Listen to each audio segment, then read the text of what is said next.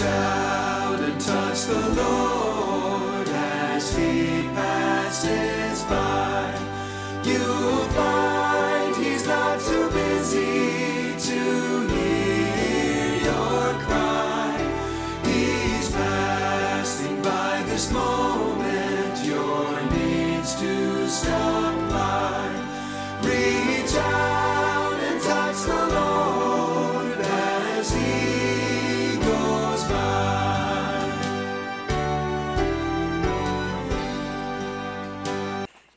Let's open our Bibles this morning to the book of Revelation, the mm. last book in the Bible, chapter 4, the throne room of heaven.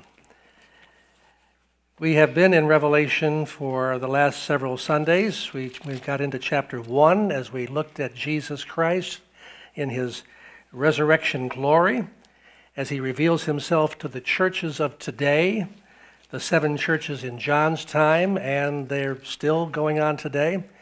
This book of Revelation is relatively chronological. It follows pretty much in sequence in time, and really is not that difficult a book to understand. A lot of people stay away from it, but Revelation takes all the threads of the Bible, all the themes, ties them all together nicely in a knot. And if there's a reference to something in Revelation you don't understand, hopefully you have a cross reference and you go back and find out where it was in the Old Testament and find it being covered and fulfilled here in Revelation. So chapters 2 and 3 deal with the church age, those who are in Christ, Jews and Gentiles. And we saw in chapter 2 the loveless church in Ephesus, then the persecuted church and the compromising church and the corrupt church. These speak of churches all throughout the church age over the last 2,000 plus years. They also speak to traits of character in our own lives. There's a bit of me which is loveless, a bit of me is persecuted, a bit of me is, I know it's hard to believe, compromising. And part of me may be corrupt as well as I'm not looking at the Lord. Chapter 3, the dead church. There's a part of us that gets dead at times. We need to get it revived. The faithful church by the grace of God. And then the lukewarm church. There's a bit of us there. Lord, show us where we are. Well, that's the church age.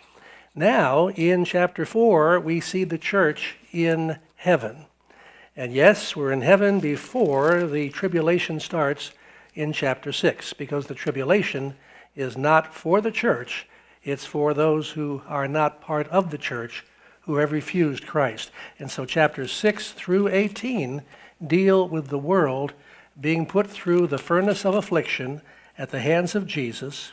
As Revelation 6:17 says, honey, read that verse if you would. For the great day of his wrath has come, and who is able to stand? So that's the tribulation. It's the wrath of Jesus poured out on a Christ rejecting world. If you're in Christ, dear friends, and you're watching by television or YouTube or uh, video or, uh, or Facebook, then uh, please give your heart to Christ. And um, chapter 4, we're going to talk about uh, the Lord uh, being in heaven, what it's going to be like. And uh, we're going to first of all get into the throne room. I was thinking about heaven this morning. How many want to go to heaven? How many want to go together to heaven in about 15 minutes? Two or three hands. if I said uh, after COVID, how many want to go to Hawaii and surf in the wintertime? All hands. And how many want to leave right away? We'd all be on that plane. And I thought about that little children's chorus by Salty Heaven is a wonderful place, filled with glory and grace. I want to see my Savior's face. Heaven is a wonderful place. Yes, I want to see my mom, my dad, my brother, my grandparents, my friends. Uh, I want to see Helen and the others who have uh, made that journey home. But first of all, and most of all, I want to see Jesus. It's all about Him. He's my Savior, He's my Lord. And so we're going to see here in heaven this wonderful picture of what heaven is like. And I want you all to pay attention because I don't want you to get up there and say, Golly, what's going on? Those dumbos, they were at Reach Out. They never did teach you about the throne room of heaven. We want to know about it. I want you guys all to be tour guides up there. And uh, no need to take temperature checks and distancing up there. They just invite them all on in. And um, they, um, there was that stupid little joke that was told by someone recently about uh, heaven. St. Peter was at the gate and uh, letting people in, and then this uh, dear lady came and uh, he said, uh, Before you get to heaven, you have to be able to spell. And she said, Spell what? He said, Well, spell the word love. She said, uh, L O V E. He said, That's right. Come on into heaven. So she said, That's easy. He said a few minutes later, I have something I need to do down the street. Would you stand at the door and take my place and do the same thing? She said, Sure. She stands at the door. Next thing you know, her ex husband comes to the gate. And he says, What are you doing here? Well, I'm in heaven, and this is heaven, but you have to first of all be able to spell a word. He said, Well, sure, what is that? She said, Supercalifragilisticexpialidocious. So I hope it's easier to get into heaven than that. Uh, in any event, um, let's talk about the throne room of God. We're going to talk about the summons of the church to go up into heaven, and then we're going to see what it's like when you get to heaven itself. Honey, let's begin. And if you'll open us in prayer, you've been praying a lot this morning, I have. so we'll, be- it'll we'll give you a I- rest I'll after give, this. I'll give you real quick. Father God, we just thank you and praise you, and we ask that you would open the scriptures up so that we could learn them and truly be changed by them. We ask for the presence of the Holy Spirit to come and be with us. We welcome you, Holy Spirit. We ask these things in Jesus' name. Amen. Amen. After the church age, after the church has been taken away, and before we get into that, there are two scriptures that deal with the church going up in the rapture, and I want to just have us review them for those that might not know about it. Uh, somebody says, "Well, the word rapture is not in the in the uh, Bible." Well, it is in the Latin Vulgate, but uh, the word is uh, caught away. If you don't like rapture, then try caught away.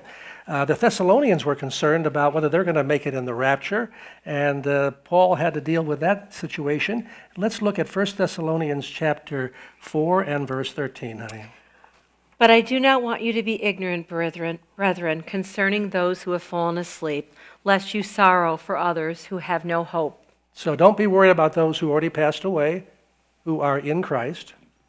For if we believe that Jesus died and rose again, even so God will bring with him those who sleep in Jesus. So when the Lord returns, he's bringing those loved ones of yours who have passed on in Christ.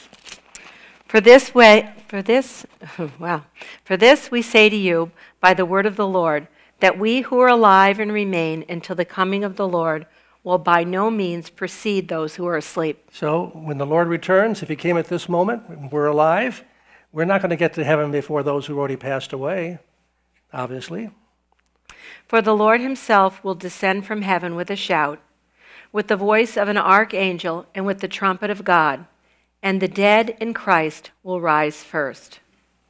Then we who are alive and remain shall be caught up together with them in the clouds to meet the Lord in the air, and thus we shall always be with the Lord. Therefore, comfort one another with these words. That's right. This is not the second coming, is it? The second coming is going to be coming to the earth. The second coming is going to happen in Revelation 19 as you and I come back with the Lord. This is actually coming in the air, and what he's doing is he's bringing our loved ones with him. He is shouting, the trumpet is sounding, and then those who are alive, that generation that does not die, is going to simply be transformed. The uh, Greek word is the word we get our metamorphosis, changing our body into a resurrection body, and we are caught up. Those who have passed on, my mom and dad were in the Lord. Uh, they are, uh, their ashes are in the backyard there, and they're going to go first. They're going to get their resurrection bodies. If I were alive at that moment, I would be joining with them. We'd all go up into heaven uh, together. That is so encouraging. Well, the Bible says, out of the mouths of two or three witnesses, every fact is going to be established. So I want another witness besides that. And so God gives it to us in, in 1 Corinthians 15. Let's begin with verse 50, honey. Now, this I say, brethren, that flesh and blood cannot inherit the kingdom of God, nor does corruption inherit incorruption. In other words, you cannot get to heaven in this body in which you now live. That's a pure place, that's a holy place. We will not be able to make it in these bodies. Behold, I tell you a mystery. We shall not all sleep, but we shall all be changed. I know that was something put on the wall of a Baptist church in Texas about in the nursery, right? I We're love those we're not all, we're not all going to sleep, and we're all going to have to be changed, right? Well, there'll be those that are not going to sleep. They're going to be in that rapture generation. It could be today. You're not going to sleep. You're not going to die first. The Lord's going to come for you, and you'll be changed. Wouldn't that be wonderful? Can I just tell you, I just was trying to remember before this coronavirus happened, I had a, uh, a dream, a vision. I was sleeping. Um, and I woke up. I don't have dreams that often, but when I do, I remember them. And I had a dream of my first husband, and I had three children with him. And uh, he was rushing around. He was like in a banquet hall. And he used to do that kind of work, believe it or not, somewhat of that kind of work. But um, I, I saw him and I said, What are you doing? And he said, I'm getting ready. And he said, Are you getting your dress ready? And I just looked at him. And I looked at myself and I said, Yeah. And I woke up. Um, I, I really believe that happened. Am I getting my dress ready? And so the last three months, four months, we've been having a lot of tribulation. But it is a way to get my dress ready. You know, God is doing something in, in me and in my family, and He's probably doing the same thing in, in you. Our garment is going to it's going to be what we have done.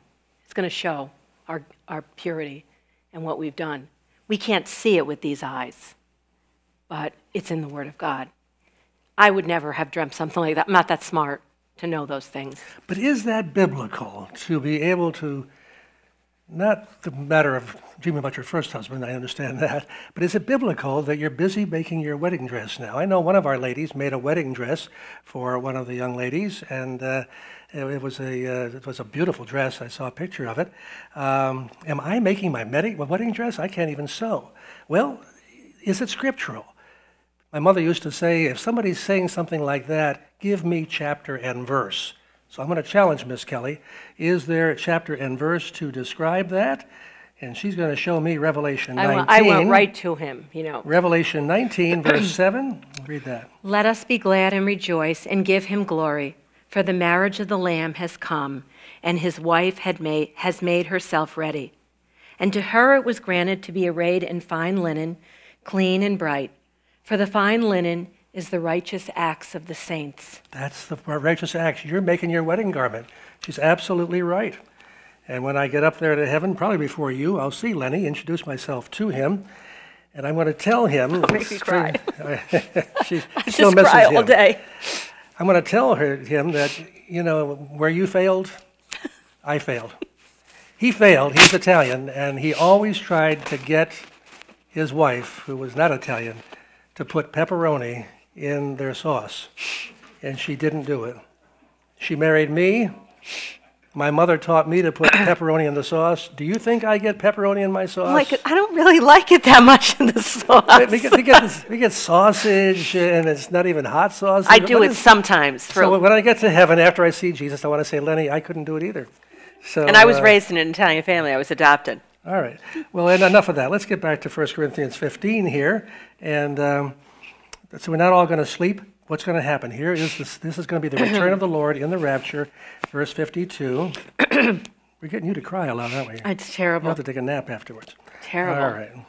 In a moment, in the twinkling of an eye, at the last trumpet. For the trumpet will sound, and the dead will be raised incorruptible, and we shall be changed. For this corruptible must put on incorruption, and this mortal must put on immortality. So when this corruptible has put on incorruption, and this mortal has put on immortality, then shall be brought to pass the saying that is written Death is swallowed up in victory. O death, where is your sting? O Hades, where is your victory? The sting of death is sin, and the strength of sin is the law.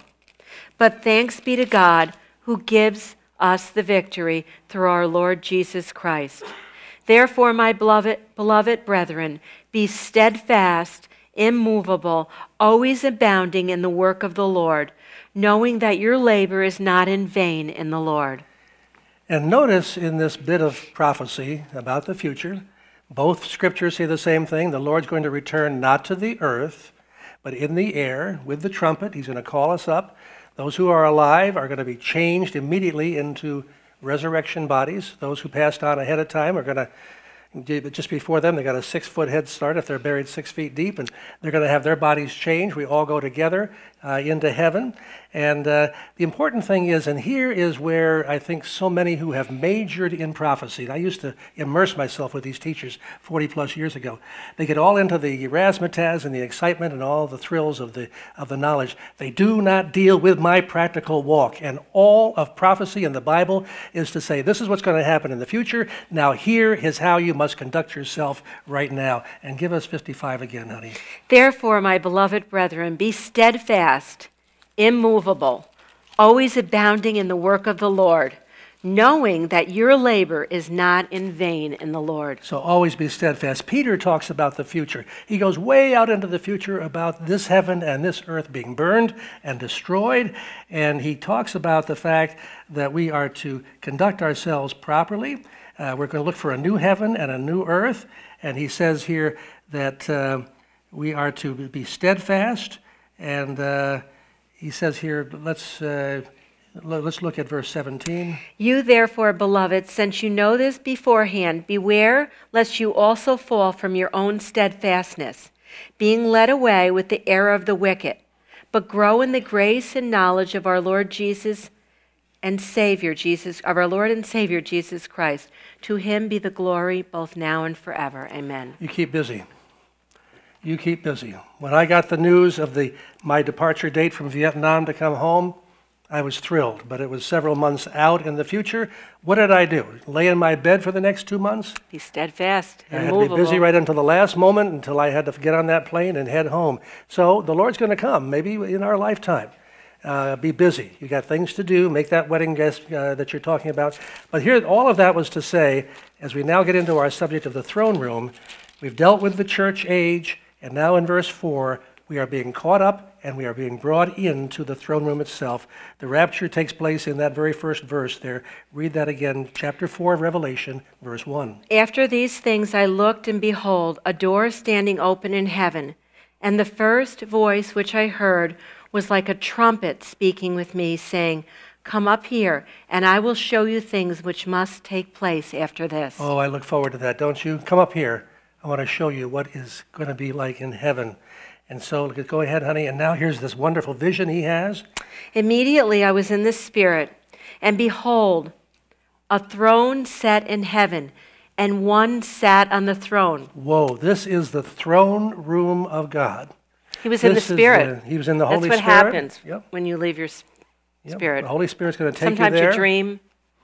The Holy Spirit's taking him into the very throne room of God. This is the clearest picture we have in Scripture of what it's like in heaven. The second clearest picture would be back in the tabernacle in Moses' time, where he said, Make a model of all these articles of furniture because that's going to represent what's in heaven. This is our hope. This is our goal. This is what we're looking forward to. So, this is the throne room of God. One sat on the throne, no doubt the Father. And he who sat on there was like a jasper and a sardius stone in appearance. And there was a rainbow around the throne, in appearance like an emerald. So there he is, like a jasper. Jasper in that day was a clear diamond look. And of course, sardius is what color? It's red, speaking of the blood of Jesus Christ, which has cleansed us from our sin. Amen. Pure, clear jasper and blood red sardius. I bet we've never seen jewels like that. The purity of Jesus because of the blood of Jesus. Verse 4.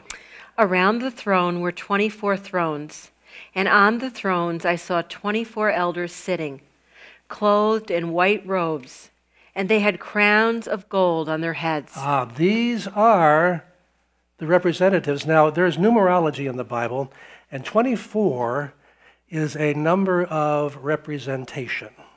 24 represents a greater body.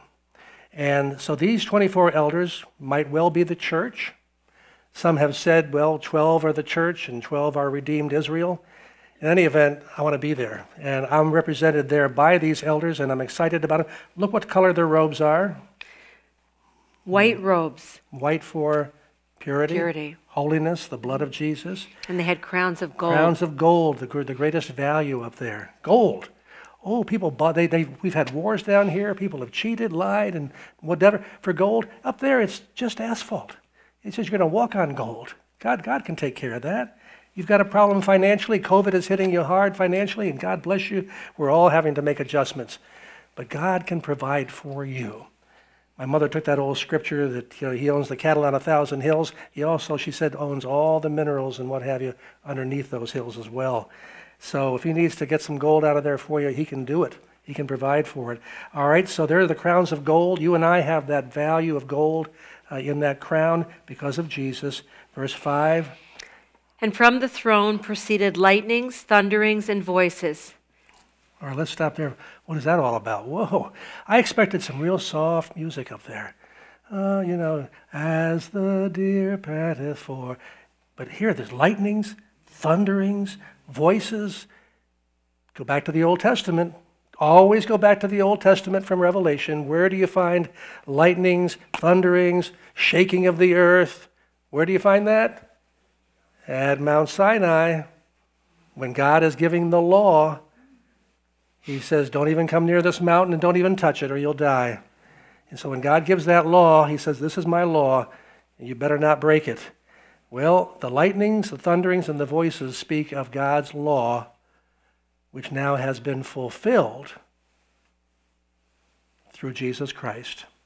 And let's go on now to the seven lamps. Seven lamps of fire were burning before the throne, which are the seven spirits of God. The seven spirits, capital S, of God.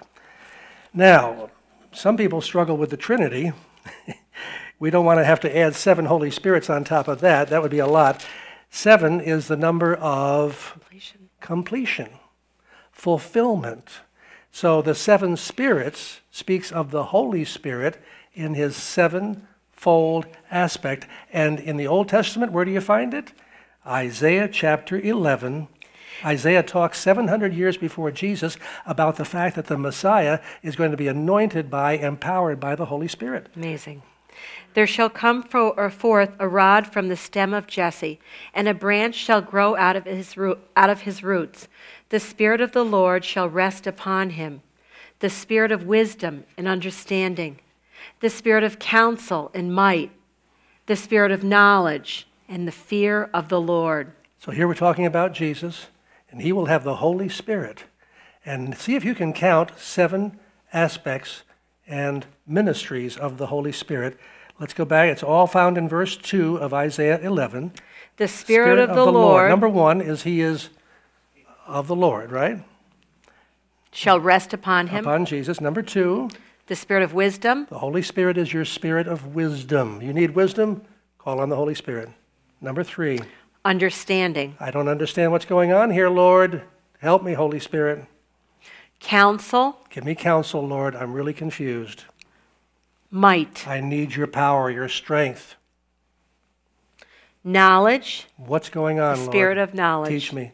And finally, the fear of the Lord. I need to fear the Lord. You should pray this. People should pray, Lord. Holy Spirit, why don't you pray then to verse 2? Then show us how you would pray that. Okay. Um, Fa- Heavenly Father, your word says in Isaiah 11, verse 2, that the Spirit of the Lord shall rest upon him. I ask, Lord, that the Spirit of the Lord would rest upon those who are listening today, that the Spirit of wisdom and understanding would be given to the people that are listening today, that they would cry out to you for counsel and might, and Lord, you would give them counsel and might, and that the Spirit of knowledge would be upon them, that they would have knowledge of what you're doing in their lives, what's going on in the world, and that the fear of the Lord would be with them, that they would have a healthy fear of you, Lord. We ask this in the mighty name of your Son, Jesus. Amen. Whoa, release the Holy Spirit. Come, Holy Spirit. So there's your seven spirits. And the seven, let's continue here, uh, the seven lamps of fire. We're burning fire, it, it indicates what? Or, uh, Uh, purifying, purifying, right? yep, cleansing. John the Baptist said about Jesus, he'll baptize you with the Holy Spirit and, And with with fire. fire. My late mother used to say, Lord, turn up the furnace another hundred degrees and burn out of me all that displeases you? And boy, the Lord did it. And you know, you're surprised when you think you're good. I remember way before my daughter had a traumatic brain injury, I thought I was really a good Christian. I really did. And then she had the traumatic brain injury, and I started realizing that God was using that injury. This is way back when. And I thought, oh my goodness, what, how horrible. And then as you go on in life, you start to see how God burns this away and turns this away. And you look back, you don't see it. You know, I see that with my children now. You know, they don't understand some things we say to them. And, and so, you know, we may not see the fruit of everything later on because it has to be burned away, right? Burn out of me all that displeases you, Lord. Now, before the throne, verse 6. Before the throne, there was a sea of glass, like crystal. And in the midst of the throne and around the throne were four living creatures, full of eyes in front and in back. Sea of glass. When you get up there to heaven and you see the throne, there's going to be a sea of glass, clear like crystal. I don't understand what the sea of glass like crystal is. From Revelation, because I have to go back into the Old Testament to realize what it's fulfilling.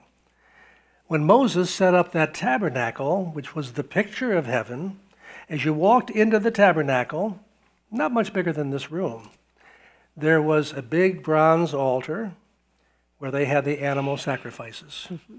looking forward to the sacrifice of the blood of Jesus Christ. And so they were actually barbecuing the meat there. Some barbecue was totally burned up, like burnt offerings. Some medium rare, thank you. And they would eat it with the priests. But they were actually sacrificing these animals on that first article, the bronze or brass altar. You walked behind that, and there was a laver, a big basin of water. Practically speaking, what was it for? My grandfather was a German butcher from Germany and established a place down in Poughkeepsie. He stands there in his nice white uh, apron, and it says Carl Lundsted's Meat Market. And he would get his big German hands bloodied with that meat. What did he have to do afterwards? Had to wash his hands. So, practically speaking, those priests had to, after they butchered the animals, they had to wash their hands. But spiritually speaking, it talks about the cleansing and the purifying, going into the presence of the Lord. It talks about water baptism, if you will, washing away. Not that the water baptism washes away from sin, but it pictures the washing away. And so here we see that it's not wet, it's solid. Because the sacrifice has been completed, the church is home, and no longer is there a need for cleansing from sin, and heaven it's now a remembrance, it's a memorial of what has already taken place. So here is the laver or the cleansing now solidified, now complete. We've made it home. And there in the midst of the throne are these four living creatures full of eyes in front and in back. What does that mean? You can see everywhere. No, they're smart. they're smart. These creatures represent uh, the uh, omniscience of the Lord Jesus. They're not God, but they represent the omniscience, the all knowing nature of the Lord. Now look at these creatures. Let's look at verse 7. The first living creature was like a lion, the second living creature like a calf, the third living creature like a face like a man, and the fourth living creature was like a flying eagle.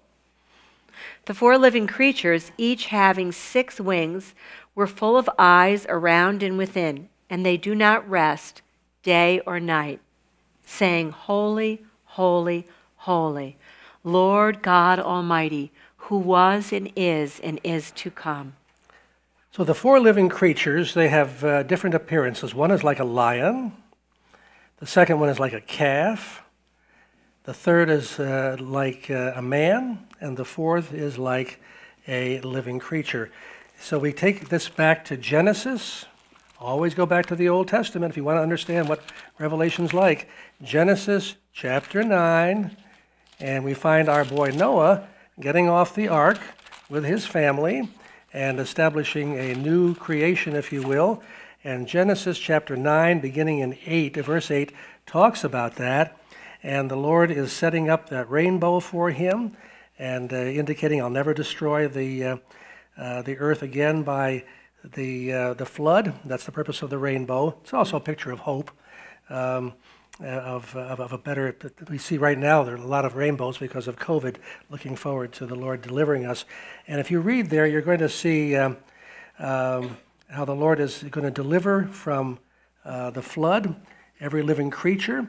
And there, as you read that passage, you're going to see he re- refers to the various aspects of humanity. There's the human being, there is also uh, fowl, there's cattle, and beast. That represents creation, that represents living beings. Adam and Eve were given dominion over the fowl, the cattle, and the beast until they sinned, lost their power, lost their right, and that's why we have all kinds of trouble, even with the. See, sin is always about destruction. Yep. So now you take your little Yorkie out in the backyard, and you get panicked. And she sends a text to all the whole family don't let little Faith the Yorkie out in the backyard because up in the air circling is a hawk ready to grab her, etc. So we live in fear all the time because of our sin nature. In any event, here are these representing all of creation now redeemed in heaven. Some see this, I don't think it's the primary meaning, but I like to always look for Jesus, and I hope you do too. I want to look for Jesus in every scripture I can find. And so back to verse 7. The first living creature was like a lion. A lion. That speaks of Matthew. Matthew was writing to Israel about Jesus being the lion of the tribe of Judah. Then the second one is like a calf. And Mark speaks of Jesus as the calf or the servant, the humble servant of God. The third living creature is like a man. And Luke spoke of the humanity of Jesus. Amen. And finally, fourth living creature was like a flying eagle. And John spoke of the deity of the Lord Jesus. So here I see Jesus as the king, the lion. Amen. I see him as the humble servant. Yes. I see him as the most perfect man. Mm. And of course, our beloved God. Amazing. It's always about Jesus. Well, you know what people are missing so much that don't people who don't know the Lord. That's why salvation comes first. They need to come to Christ, right? Then they'll come and learn about the Word of God. Right. This is a mystery. And it's everything in this book is for life and godliness. The important thing is, what are they doing up there in heaven? Are they floating around? They're floating around with that harp. Can you, can you read music? Can you play a harp? No, who knows, who knows what you're going to be doing up there? You're going to be praising God. That's what this is all about. Chapters 4 and 5 are about praising God. What are my parents doing right now? Their, little, their bodies in the ashes are in the backyard. Are they back there? No, they're not. Where are they? They're in heaven with the Lord. What are they doing? Playing the harp? Doubt it. Praising God?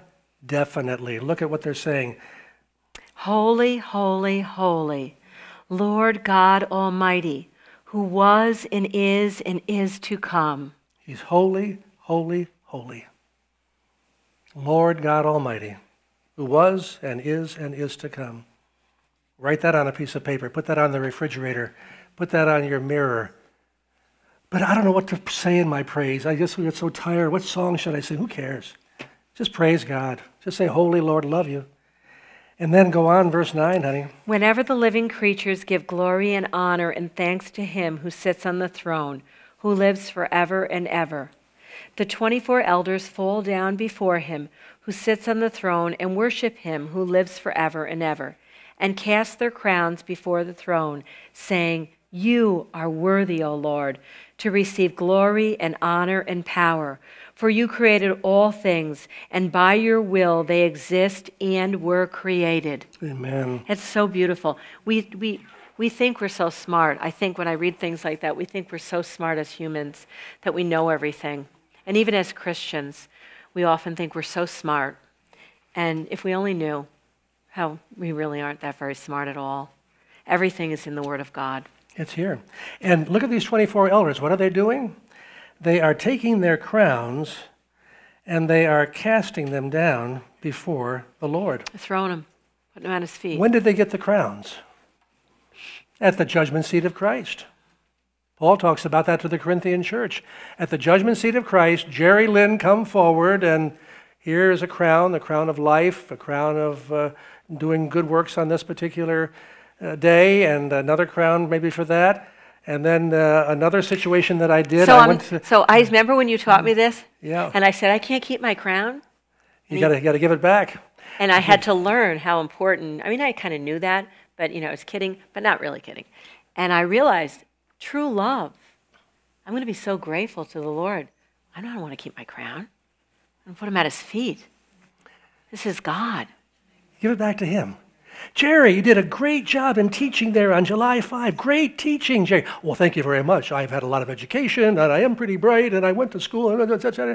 Guess what happens You can do that, here on the, on the earth. Yeah. Guess what happens to that reward? That's the Pharisee. That reward is burned right up. On the other hand, Jerry, thanks for the teaching. Thank you. Thank you, Jesus. All because of him.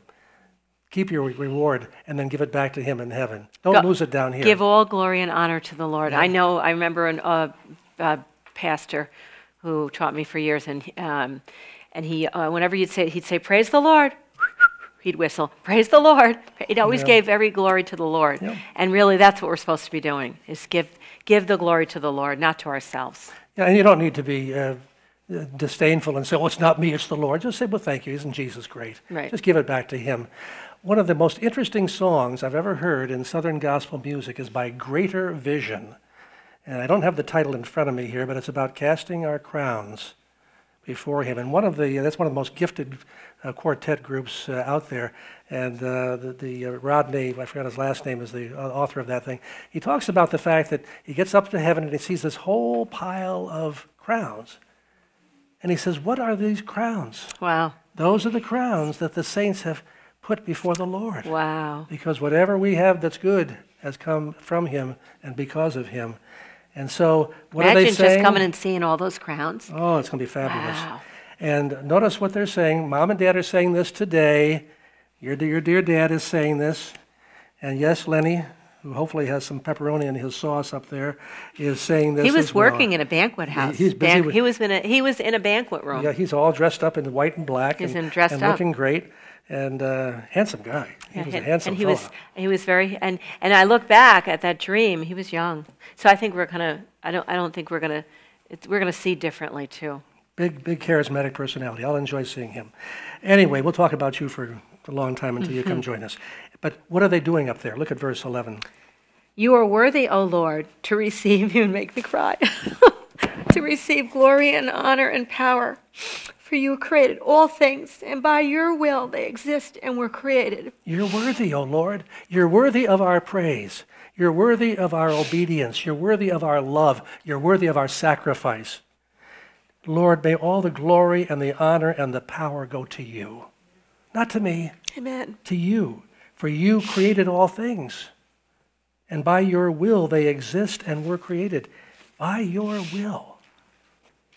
I was created to praise him, to honor him, to bless him. But I don't want to praise God now. I want to wait till I get to heaven. Why wait? He's worthy of it now. And incidentally, I've never heard this taught before, but I'm kind of thinking that if I miss mom and dad, and my brother, and your dad, who was always a gentleman, always treated me well, I only knew him for six years. If I miss them mm-hmm. and would like to draw closer to them, why don't I join them?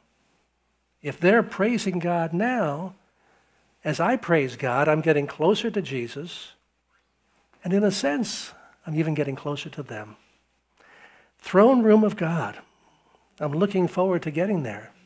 Maybe not today, maybe another day, as, as the Lord decides. Uh, but heaven is a wonderful place. You would go today. place. You're I would- fine. I would go. Take, would. take a couple of dogs with me here. But again, let's go back to what Salty said. Heaven is a wonderful place filled with glory and grace. Mm-hmm. I want to see my Savior's face. Amen. Heaven is a wonderful place. Let's pray. Oh, Heavenly Father, we just thank you and praise you for this opportunity to hear your word today. We thank you for listening to Pastor what a blessing and how he's brought forth the word with clarity and truth. We pray, Father, that you would just guard it in our hearts. Help us to truly learn from it, hear what you want us to say, and, and give it out to others this week. We thank you for what you're going to do in our lives, and we look forward to uh, serving you this week. We bless you and we thank you for all that you do. In Jesus' name, amen. Yes, and for those of you who are not sure that you're heaven bound, you're backslidden, you're, you've never really come to the Lord. I had to come to the Lord at age 35. I didn't know Jesus was the Son of God who died for my sins. Perhaps you're in that category. We want to give you a chance to get ready to go with us. 30, so 40 plus years ago, my sister-in-law came up from uh, Florida with her big, beautiful blue eyes and her Kentucky soft accent, and she said, "Jerry," she said, "I just gave my heart to Christ. I want to be in heaven, and I want you there with me." And of course, I blew it off and said, "Well, that's very nice, Nancy. I'm happy for you." and then a couple of years later, I got saved and called my sister, and she said, "Oh, happy for you." And but what about for you? I'd like to have you out there in heaven with us. Those who are here, I'd like to think that uh, we can get as many as possible. Heavenly City is going to be a big place. We're going to see those dimensions later on. Huge, more than half the size of this country. You have to cubed. bring other people's Yeah. in You people gotta get into the in. kingdom. You got to keep telling people, and some will be saved.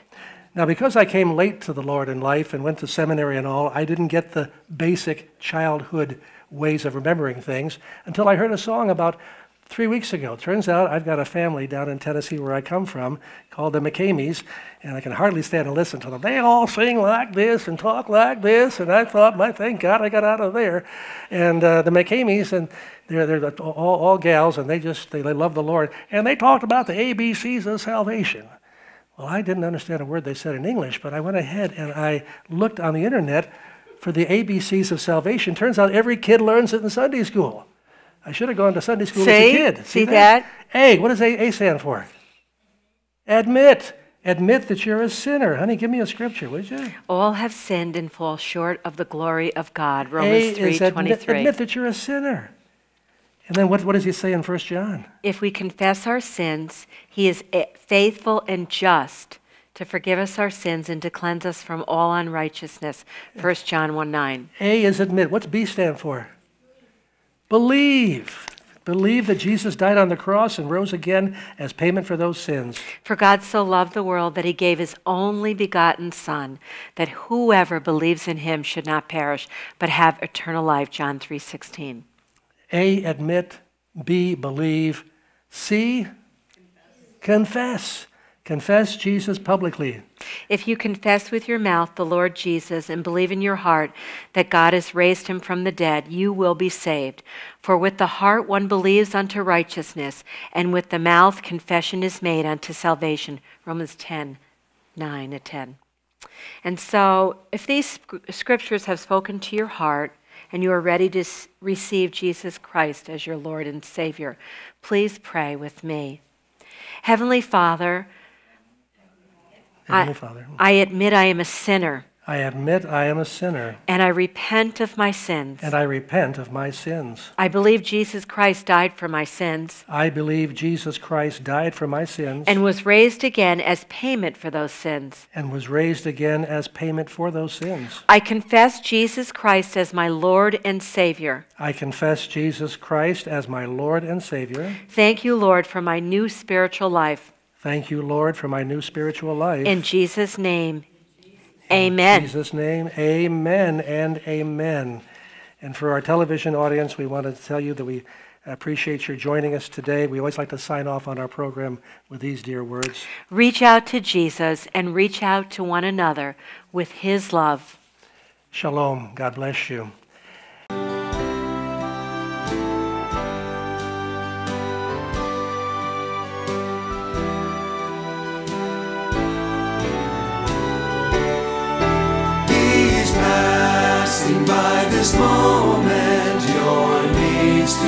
Passing by